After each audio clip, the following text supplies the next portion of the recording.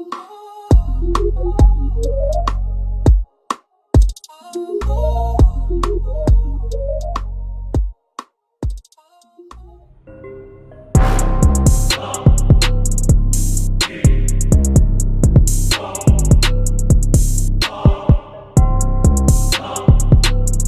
morning, YouTube, good afternoon good night whenever you're seeing this. Yeah child okay so today i'm just another hair project i've been loving these hair projects i've been loving that y'all have been in tune with my hair projects and y'all are helping me pick my hair projects be sure that you follow my instagram at it's glam by Tai so that y'all can join the fam like y'all help me out so much so today's video is on um, another hair project that I had put on my Instagram. And I put it, it, whatever goes on my Instagram goes on my Facebook. So I put it on both. Now, both sides voted this color, okay? Both of y'all. Now, it was between pink and like a gray silver, like a platinum gray silver, whatever. Y'all had me like stuck on pink. Everybody was voting pink, pink, pink, pink, pink, pink, pink, pink. And I was just like, oh, okay, I, I, I get it. Y'all want to see pink but my heart was set on silver and i'm like Ugh.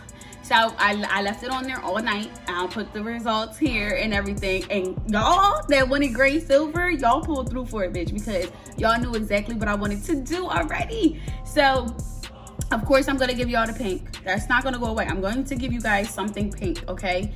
But today is on this silver color that i'm doing. The wig for today is from MyFashionHair and it is this blonde 613 closure. And of course they gave me a wig cap. So I'm gonna just open it up. I have not opened it up. Y'all still see like everything is just how it came.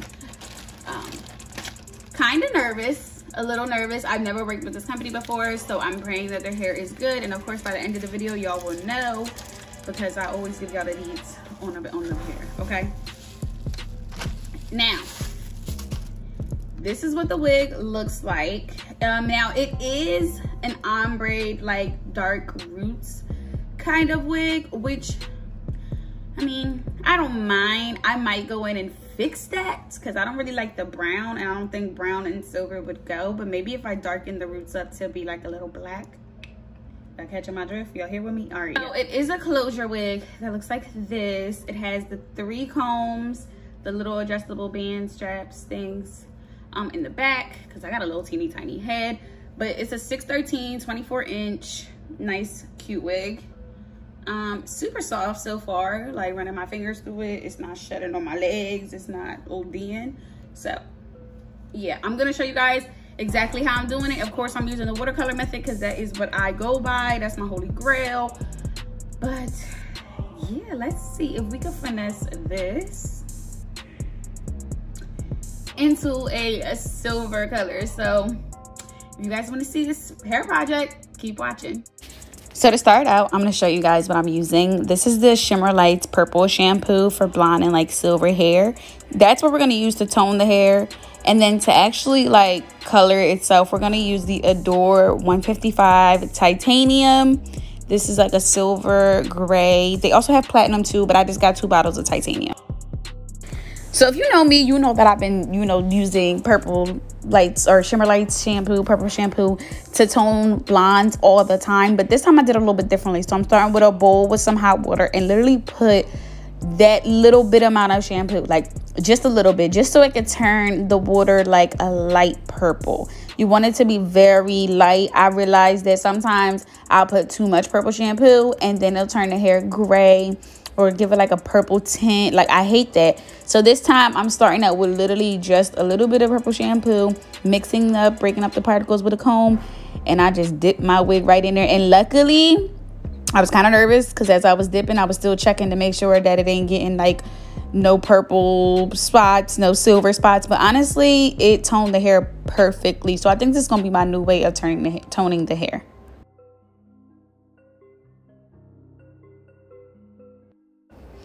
I just dip it in there, swish it all around, pull it out, and you get this like white pearl color. There's no yellow in the blonde. That's exactly what you want. So let's move on to color in the hair.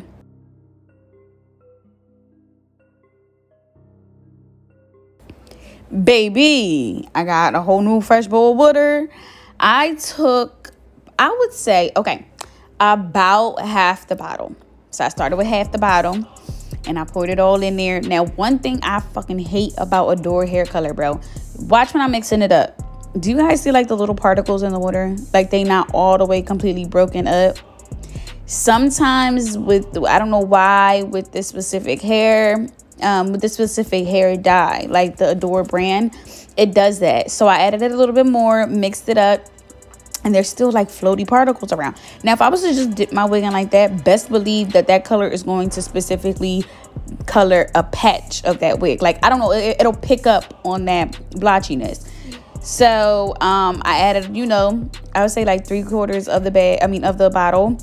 Dip the wig in there, um, and I was just testing it out, making sure that it doesn't turn purple. Because as y'all see, when I put it in there, it does have some purple under, or like purplish blue um, undertones, which is another thing about Adore hair color, bro. They have specific undertones. Even the black, jet black, got like blue and green undertones. So keep that in mind. Honestly, I would recommend a different brand to go with, but Adore is just what I was used to.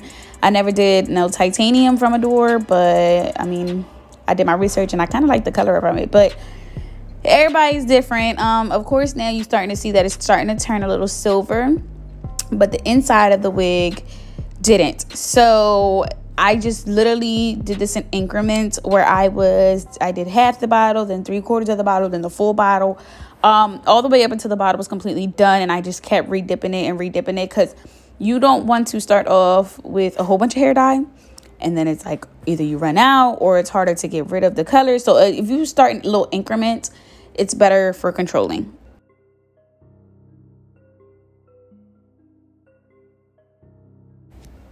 Child every time that i go on ahead and add hair dye i specifically focus on mixing it up with the comb just to break all those particles away.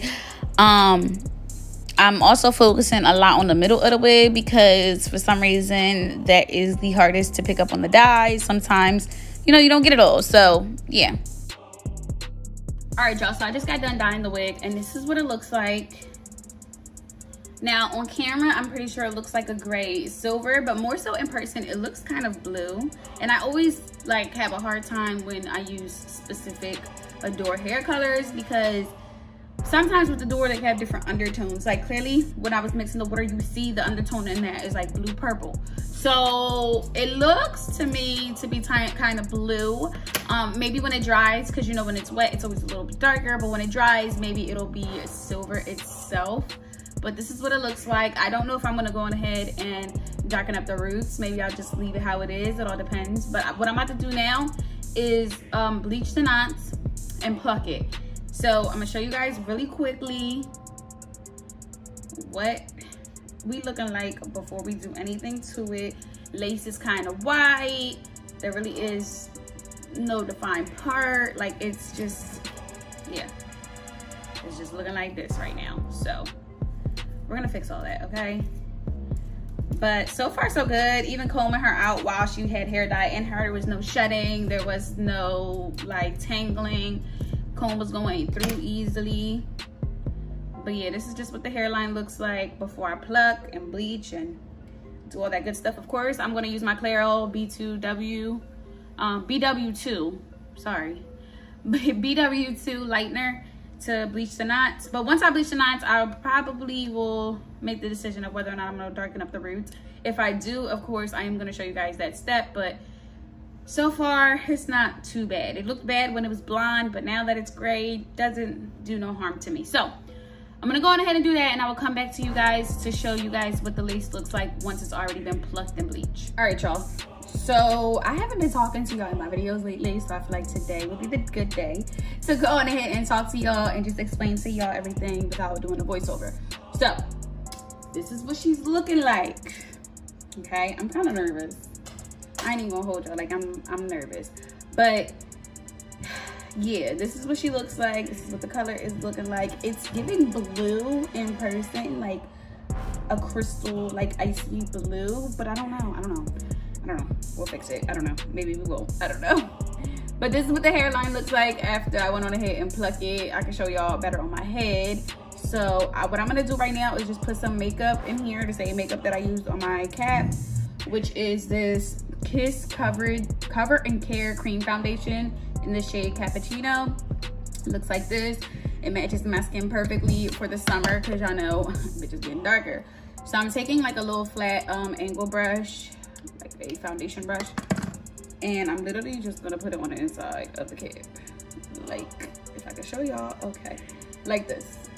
Literally just rub it all on the cap, blah, blah, blah. Now that we have the makeup all on the cap, I'm gonna adjust the straps to make it fit my head. And then I'm gonna put it on my head and show you guys what I'm gonna do to install it. Okay.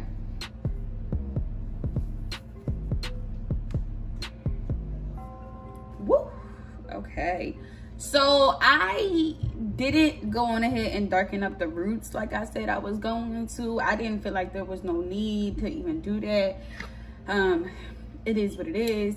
So I'm gonna just take my hot comb and you know, lay everything down. The closure itself is dry. The wig in the back is not. Like here. I don't know if it's picking up on camera. Yeah, like y'all see it? It's like kind of blue, like blue undertones. So I probably will never, ever, ever use Adore hair color again to do this. I know Kiss has a version of it and I love Kiss hair dyes because they smell so good to me. Like, oh my God. But yeah, I'm gonna just, you know, flatten it out. Cause y'all know, we don't like no bumpy ass wig, okay? Now, normally what I would do is go on ahead and with my lace frontals, I would go on ahead now and map out where I want my lace to be. So instead of doing that, I'm just gonna cut Am I gonna cut? Yeah, I'm gonna cut. I'm gonna cut my lace now. Boom, boom, boom, zigzags. Definitely wanna go in a zigzag motion. Okay. Now that my lace is, hold on, let me cut a little bit more right here.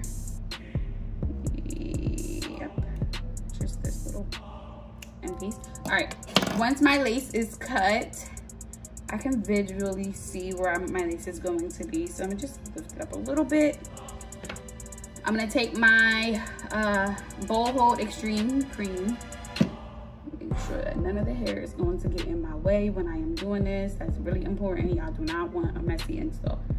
So I'm just gonna map it out from like here to here is where I'm gonna put my dots. So I'm starting over here. And it's super easy to do a lace closure install. So if you're a beginner and you're starting out, definitely easier. I'm gonna take the end of my rat tail and just smooth that all out.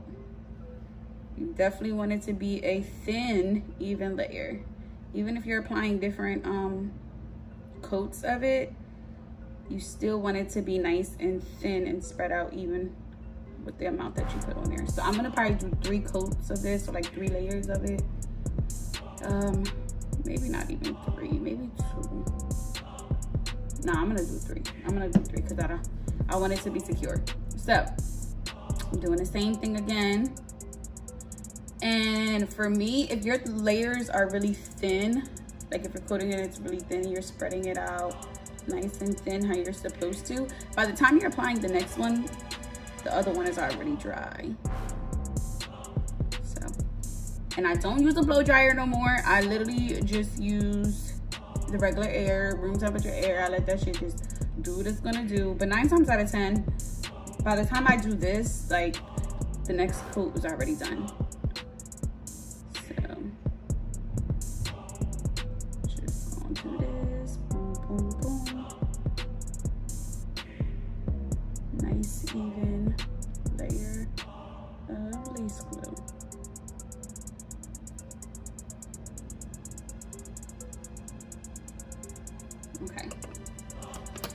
good. So sometimes I fan it. So most of the time I just let it do what it's doing. I definitely do not recommend like you can see this is still white. So I do not recommend just putting your wig on just like that, even though this kind of is starting to dry faster than this side. Definitely get it all to be clear. Like you don't want to see the lace glue at all. Let it do its thing. Wait a little bit. It's not going to take that long.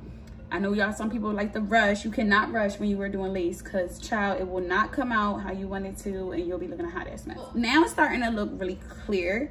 I'm gonna pull the wig all the way up to where I have the lace, the lace glue, sorry. And I'm gonna push it into my skin, literally like this just to make sure all of the flaps are down. Boom. Now is where I'm gonna take my scarf and fold it up to make it like a headband kind of thing. Good. All right. I'm gonna put the rest of the back of the hair up because I want it out of my way when I'm trying to do my wrap, but I try to tie my scarf because I don't know why my hands get real stupid when I'm trying to tie the back of my scarf and my hair is down and just be all discombobulated. So I'm literally, all right, let me show you guys.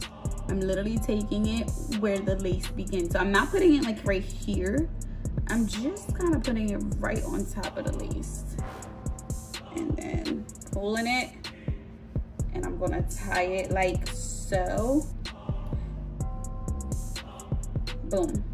So now what I'm gonna do is probably go get um, a blow dryer brush and dry the rest of the wig and then I'll come back to you guys when the hair is dry and we're ready to actually like work on our baby hairs or style the wig, whatever.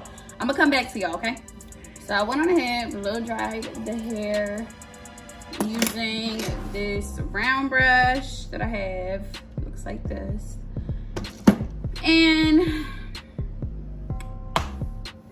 I don't know what to do with it. Like, I'm not feeling the dark roots. I feel like, for one, they let the roots grow out too much. Like, if you're gonna do dark roots, I think the roots should stop, like, right here, not right here, okay? That's my first con about this wig. Second of all, the color is silver up here, more purple in the front. But I feel like the way for me to fix that is to give it some layers. And we're gonna curl her up and I feel like after we do that, you're not even gonna be able to tell. So before I do my baby hairs, um, I did my eyebrows while I was waiting for the curl and iron to heat up. There we go. I was waiting for the curl and iron to heat up. I went ahead and did my brows. So before I do my baby hairs, I'm gonna just quickly, and I mean quickly, show you guys how I curl this wig. So take like a little section. It's not really like a little section job. It's like a medium size section. And I'm just gonna go back away from my face. And now we wait.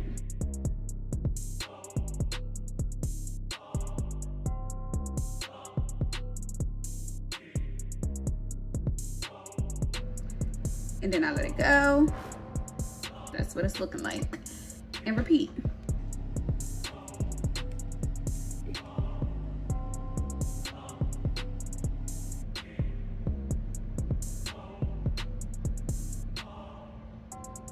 Just remember that I am curling the hair away from my face. That's like number one thing you gotta remember curl away from your face. So I'm gonna go ahead and finish the rest of my curls and then I'll come back to you guys when I'm actually ready to do the baby hairs just to speed this process up. I know this looks a little crazy and I feel like it's the dark roots, like it's fucking with me. But all right, now I'm gonna do my baby hairs so I'm gonna just, y'all know, take out like a little section of hair. Make sure that it's not too thick. I'm probably only gonna do two baby hairs since it is um, a closure. I'm not gonna go OD on the baby hairs, but you know, just enough. Yeah, I think that's good on that side. And then for this side, that's good. Taking an eyebrow razor and I'm just gonna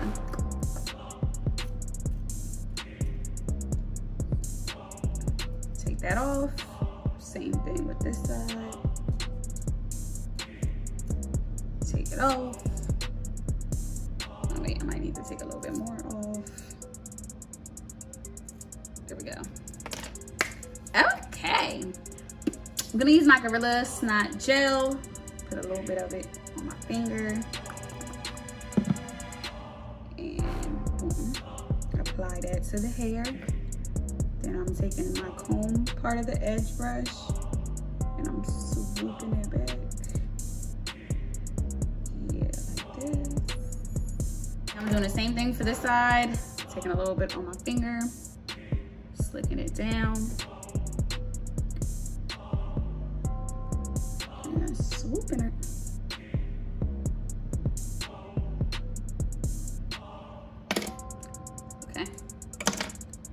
let's see. Mm, something's off. Something is off. Let me see. Maybe if I just, maybe I might have to do three baby hairs instead of two. Because I was talking shit. And now look. Baby hairs don't even look right. No, no, no, no. What y'all think? Like a little swoop in the middle? No that's gonna look a mess. I don't know. I talk to myself a whole lot when I'm doing my baby hairs because really like, will this look right? Will this look right? Is this gonna be okay? But, all right. Take a little bit, dab it on my hair. Boom.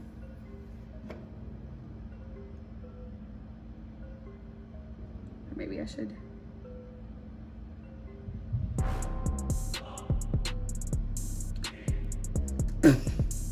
what the fuck is that? What is that? What is that? Now I'm fucking up this side. See? Okay. Now back to you over here.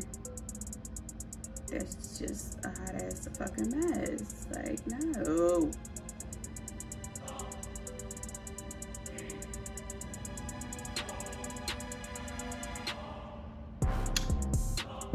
I'm on the edge. I'm on the edge. I'm literally on the edge, okay? All right, that doesn't look too bad. I just have to, like the tail part of it is too crooked for me. So I dabbed a little bit more of the Gorilla Snot. That could work. That could work. That could work. That's gonna work. I'm not even gonna touch it no more because once I touch something, it fucks up. Okay guys, so this is the finished look. Honestly it's not the color that i expected it to be but it'll do. And the dark roots i have I, they have to grow on me. Like i don't know.